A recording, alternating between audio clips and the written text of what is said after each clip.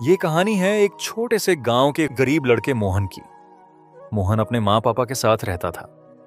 उसके पापा एक किसान थे और दिन रात खेतों में मेहनत करते थे, लेकिन फिर भी उनकी कमाई से बस दो वक्त का खाना ही हो पाता था। जब दिवाली का त्योहार पास आया तो गाँव के सभी लोग अपने अपने घरों को सजाने में लगे थे। बच्चों के नए कपड़े बन रहे थे, मिठाइयाँ बनाई जा रही थीं और घरों में दिए जलाने की तैयारी हो रही थी। मोहन भी दिवाली का बेसब्री से इंतज़ार कर रहा था। उसके दोस्त उसे अपने नए कपड़े और पटाखे दिखाते और उत्साह से दिवाली की बातें करते। मोहन मन ही मन बहुत खुश था, लेकिन उसे यह भी पता था कि उसके पापा के पास इतने पैसे नहीं हैं कि वह नए कपड़े या पटाखे खरीद सके। दिवाली की शाम आई। पूरे गाँव में रोशनी और खुशियों का माहौल था। मोहन का घर खाली और अंधेरे में था। क्योंकि उनके पास दिए और तेल खरीदने के पैसे नहीं थे।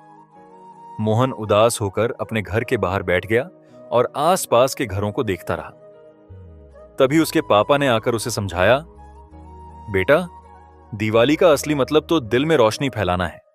खुशियों का त्योहार बाहर की चीज़ों से नहीं, अपने मन की अच्छाई से मनाना चाहिए। मोहन ने अपने पापा की बात समझी और मुस्कुराते हुए अंदर गया।